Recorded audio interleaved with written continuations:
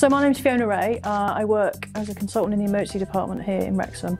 I'm also an honorary senior lecturer, so I'm responsible for most of the medical student training that goes on in Wrexham all year round. So we've been doing these days for future doctors, we call it, for young 15, 16 year olds at school for the last few years. Um, I think this is really important for two reasons. One, these are our local students who are thinking about doing medicine. So from the point of view of healthcare in North Wales, um, there's more chance that these guys, if they are going to do medicine, that they'll come back and train and work uh, in North Wales. The other reason I think it's important is because there's quite a lot of misinformation um, and lack of knowledge with sometimes with teachers in schools about what medicine is like and particularly we found things like what you actually need to do to get into medical school. There's a lot of focus on academic ability which while it's important it's actually a lot of the other things around your team working, your personality, your ability to cope with stress that are probably as important and not always emphasised. And also exactly which GCSEs and which A levels to do, which again, people think they have to do all sciences and nothing else, and that's actually not true. So yeah, and we get lots of really good feedback from the students, so we're, we're really pleased to offer this for the schools.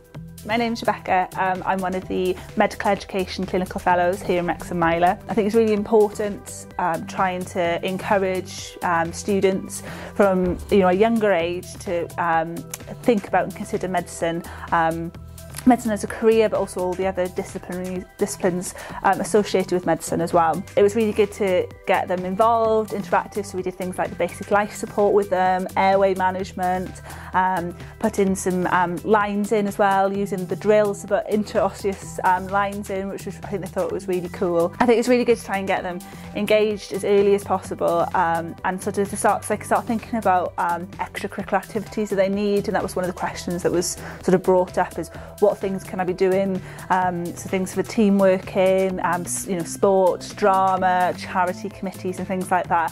So Start thinking that actually it's not all about academic and you need to be, it's very person-centred, um, you know, there's more to medicine than just sort of reading your books and hopefully we managed to convey that, that it's not all about doing the sciences and actually you need to be a, a real person beyond it all. My name is Amanda and I am a resuscitation officer and clinical skills and simulation tutor here at Wrexham. It's been great to be involved in the Future Doctor Day today. Um, I really enjoyed it, having all the, the guys here.